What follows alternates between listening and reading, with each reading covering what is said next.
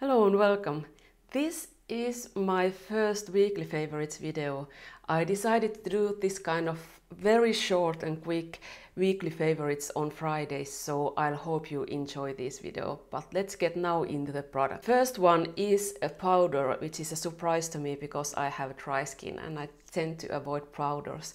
But this Physicians Formula Mineral Veil Loose Powder. This is a translucent powder and it surely is translucent, at least on my skin. It just mattifies, but it is invisible. I cannot, when I apply it, I cannot see it. I can use it even on my dry under eye area, on my T-zone of course, to set my cheeks and nothing looks dry or nothing is dry looking after five hours or eight hours. This is unbelievable. I've never seen powder like this. It's actually quite close to the hourglass uh, veil something, the loose powder. Um, love it. If you if you want to have very finely milled invisible powder, definitely try this one.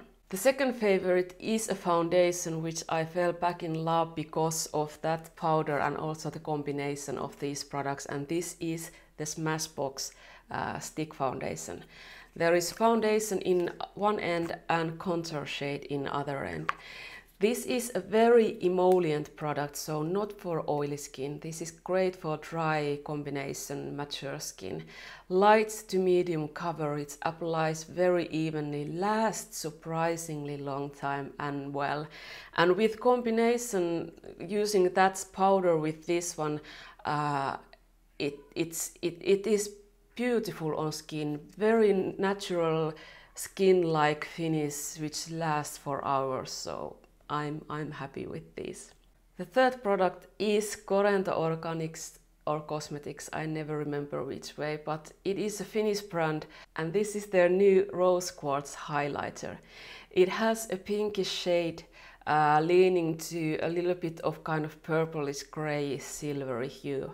Um, it is a cream highlighter and it gives you this kind of wet look. I have it today, so not uh, no glitters, no shimmers. It's not a blinding highlight. It's this kind of natural glow, wet looking highlight.